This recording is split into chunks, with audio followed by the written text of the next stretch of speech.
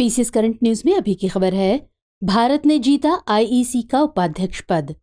भारत ने 2023-25 कार्यकाल के लिए इंटरनेशनल इलेक्ट्रोटेक्निकल कमीशन यानी आईईसी का उपाध्यक्ष और स्ट्रेटेजिक मैनेजमेंट बोर्ड यानी एसएमबी का अध्यक्ष पद जीत लिया है। हाल ही में आईईसी की बैठक सैन फ्रांसिस्को अमेरिका में हुई थी, जिसमें आईईसी के सभी सदस्यों ने मतदान किया था। इसमें भारत को 90 प्रतिशत से अधिक मत मिले थे। आईईसी में भारत के प्रतिनिधि और भारतीय मानक ब्यूरो यानी बीआईएस की विभिन्न तकनीकी समितियों को चुना गया।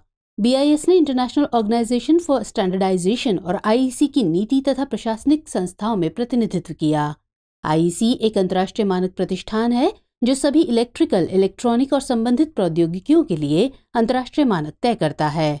मानकीकरण प्रबंधन बोर्ड आईईसी का सर्वोच्च प्रशासनिक निकाय है, जो तकनीकी नीतिगत विषयों के लिए जिम्मेदार है।